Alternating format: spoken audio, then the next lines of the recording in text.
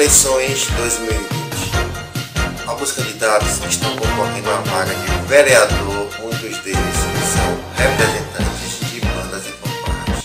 Vamos agora fazer algumas perguntas para eles e, e ver o que é que eles têm para dizer a você.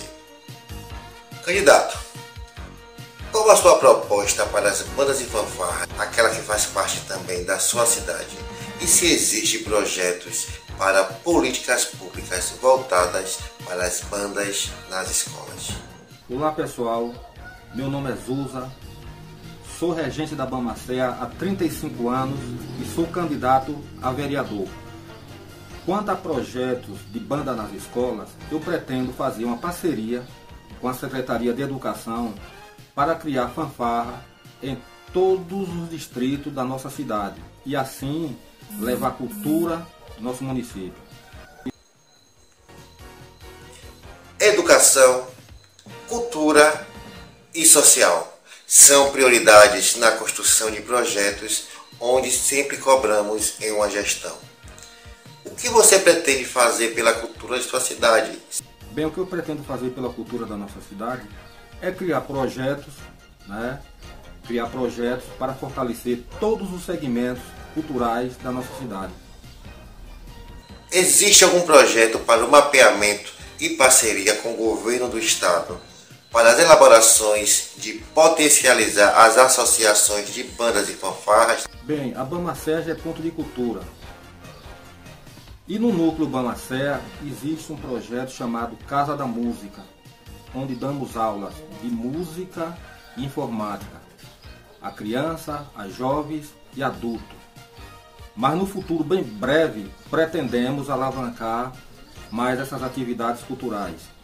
Vereador, deixe a sua mensagem ao povo de sua cidade e por que eles devem votar em você. Do mais, muito obrigado e agradeço muito né, a atenção. E também quero aproveitar a pedir a toda a população de Aramari né, um voto de confiança para que eu possa né, seguir com o meu trabalho, com meus projetos e sim levar Aramari para fora com mais força, com mais galhardia. Bem, quero agradecer ao canal Banda Show por ter nos dado essa grande oportunidade de nos apresentar para nosso município e para a Bahia. Né? Tá de parabéns, Léo.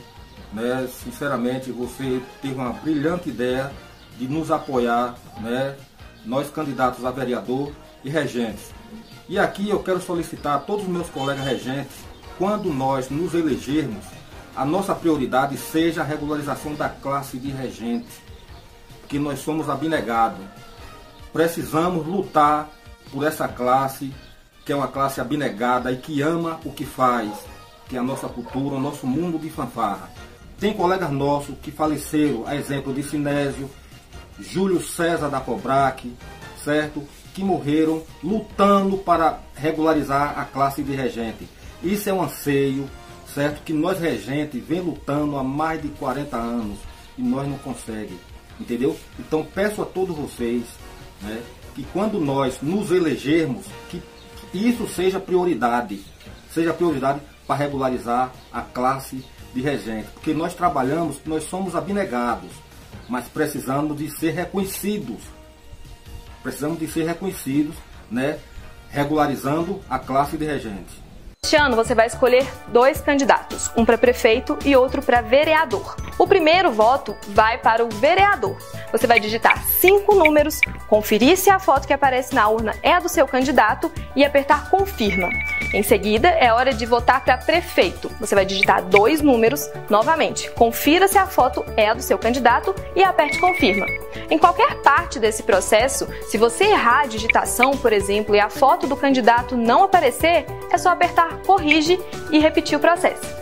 E caso você queira votar em branco, aperta a tecla branco e confirma.